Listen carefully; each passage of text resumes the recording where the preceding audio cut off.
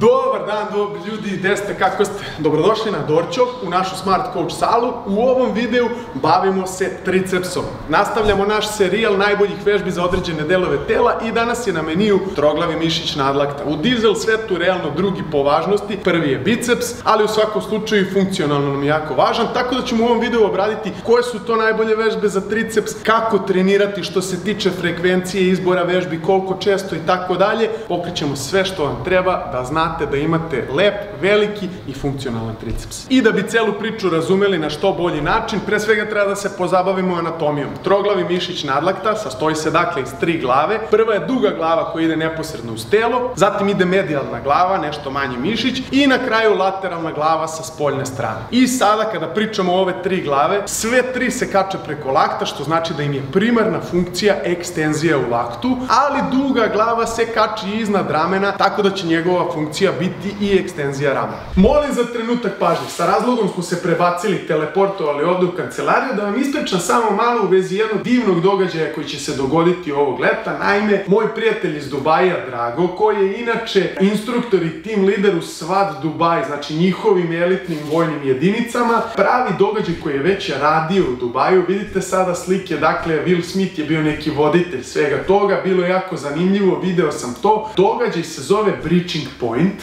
održava se 2. jula i napravljen je da sve te drilove, treninge specijalnih jedinica, vežbe i sve ostalo približi običnim ljudima. Zašto vam ja pričam o tome? Zato što sam mnogo vas koji ste sada iza ekrana upoznao i video da za to jako ima mesta, ima dosta ljudi iz policije i vojske ima dosta momaka koji se apsolutno ne razlikuju od onih iz policije i vojske po nekom pristupu, životu, mentalnoj snazi i svemu ostalom, tako da znam da ima dosta vas koji bi učestvovali u celoj ovoj stvari. Događaj Breaching Point, rekao sam, održava se 2. jula. Prijave su do 30. juna, 36. na Instagram profilu Svat Balkan. Samo tamo možete da dobijete još više informacija i to. Event u suštini traje 24 sata, održava se na široj teritoriji Beograda i podrazumeva razno razne taktičke vežbe, vežbe gađanja, razno razne drilove, marš pod punom ratnom opremom i još sve i svašta što naravno rade te specijalne jedinice. Tako da eto, ako ste već deo te priče ili ako ste u fazonu da to probate, misli da je to za vas, ja osjećam veliki deo toga svega u sebi, predlažem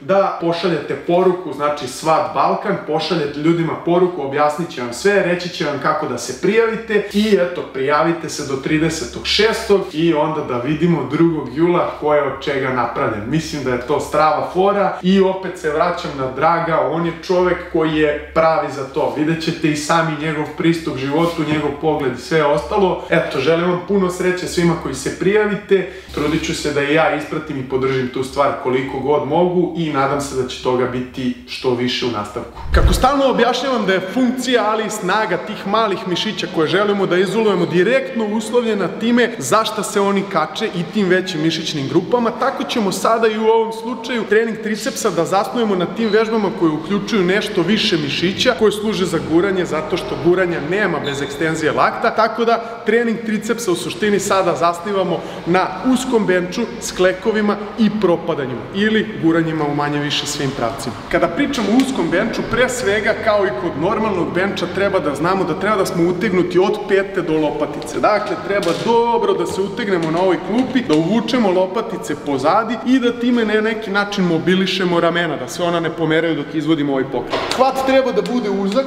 u suštini ovo je neki hvat, ajde da se uhvatimo za šipku i da pričamo o tome.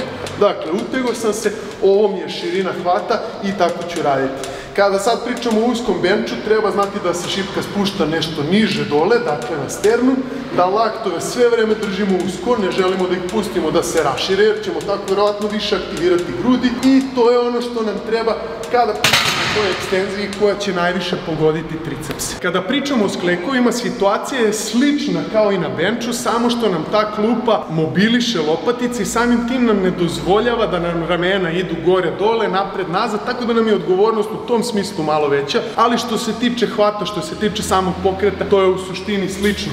Treba da se uhvatimo za pod nešto uže, da se totalno utegnemo u celom telu i da laktove držimo uz telo. Dakle, neću puštati ramena da idu gore, neću puštati lopatice da idu napred nazad, nego jednostavno cijelo telo treba da je mirno i samo da sam fokusiran na tu ekstenziju laktu. I treća vežba je možda i najzahtevnija, ali isto tako ja je najviše volim, zato što najviše možemo da se opteretimo i negde možemo da postanemo baš dobri u ovim propadanjima. Dakle, situacija je takva da opet sada najviše možda treba da pazimo na lopatice, dakle da se one ne pomeraju i da ramena ne idu gore dole i ovo ugao leđa koji u odnosu na podlogu želim da ide. I onda opet fokusiran sam samo na ekstenziju laktova, a neću da dozvolim ramenima da idu gore dole ili lopaticama da previše putuju ili ramenima da priđu previše ušima. To je veoma važno. Tako smo pokrili ove compound vežbe koje pokrivaju najviše mišićne mase i kojima najviše možemo da se opteretimo kada je triceps u pitanju, zato što u ovim vežbama imamo pomoć grudnih mišića, ramenih mišića i nekih drugih.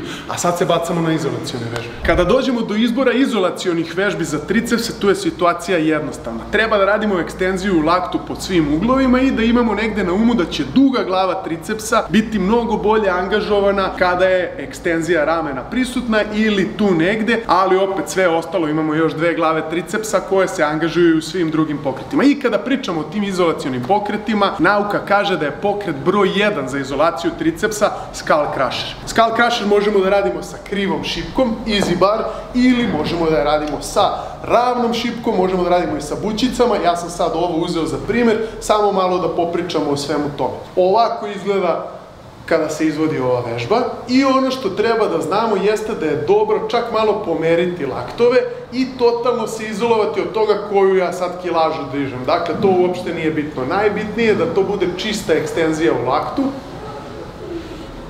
i da to bude održivo na veći broj pokreta. Šta su najčešće greške u svemu ovome? Natovariš se dosta kilažom i onda moraš da spuštaš direktno dole teg i da ga guraš ovako ili jednostavno moraš previše da uključuješ ramena u ovaj pokret. Dakle, ovo je izolacija, a vežbe izolacije želimo da uradimo baš za taj mišić za koje je izolacija i sa maksimalnim fokusom na sam taj mišić. Dakle, veza mozga i mišića, o tome smo ranije pričali i evo sad još jednom da ponovimo, pomerit ću ruke malo unazad i onda ću se truditi da to bude samo ekstenzija u laktu u ovom delu pokreta.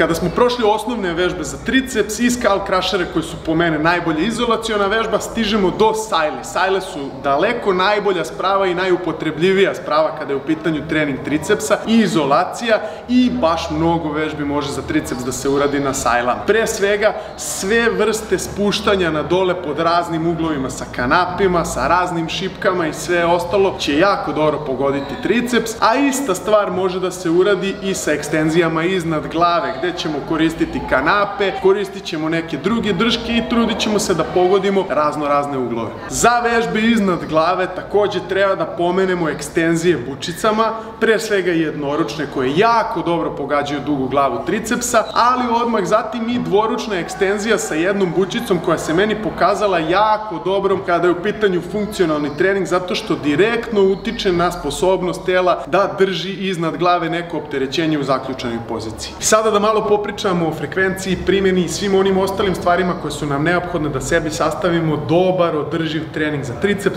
pre svega jedna zanimljivost koja je suprotna ovom mom celom funkcionalnom pristupu, a to je da je nauka dokazala da je hipertrofija tricepsa, dakle rast tricepsa, mnogo bolji ukoliko se rade parcijalna, delimična ponavljanja na nekim vežbama. To treba znati, da sledeći put kad vidite čoveka da ovako radi, recimo skull crusher, da ne kažete vidi ga ovaj ludak, nego ima to nekog smisla.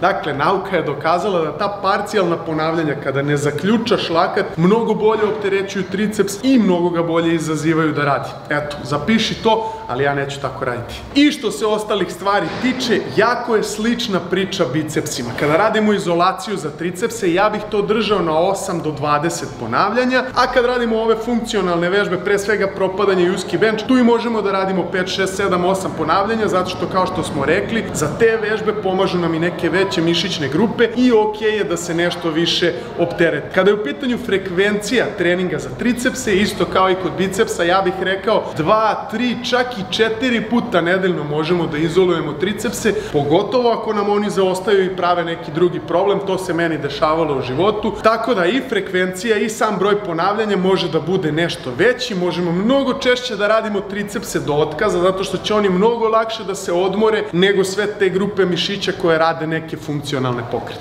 Za napredak nauka kaže 20 do 25 serija nedeljno može dakle da se rasporedi u 2, 3 ili 4 treninga i to uvek treba imati u vidu kada želimo da nam tako neki mali deo tela napreduje. Veći broj ponavljanja, veći broj serija, veća frekvencija i naravno slušaj sebe, slušaj znake koje ti telo daje jer je to od esencijalnog značaja da se ne povrediš, da napreduješ i da uopšte stvari budu u redu. Misli svojom glavom. I sada još jednom da naglasim da je jako bitno, pogotovo za ove izolacione vežbe, da postoji konekcija mozga i mišića, zato što svi ti mali mišići, obično ukoliko su nam slabi, izgube tu funkciju do kraja neki drugi mišić koji je blizu, koji je jači, koji je veći, preuzme tu njihovu funkciju. Tako da, kada radiš ekstenziju laktu, fokusiraj se na taj triceps, probaj da ga stisneš što više i onda će stvari biti dobre. I još jedna stvar, kada pričamo o kombinovanju treninga za triceps sa nekom drugom mišićnom grupom, najčešće se triceps kombinuje sa vežbama za grudi, zato što vežbe guranja nesumnjivo uključuju i ekstenziju u laktu, tako da to jako ima smisla. Ne možeš da radiš grudi, a da ne uključiš i triceps, a i obrnuto je najčešća situacija. Druga varijanta je da se radi agonista i antagonista, tačnije biceps i triceps. Pričat ćemo naravno o tome u nekom drugom videu.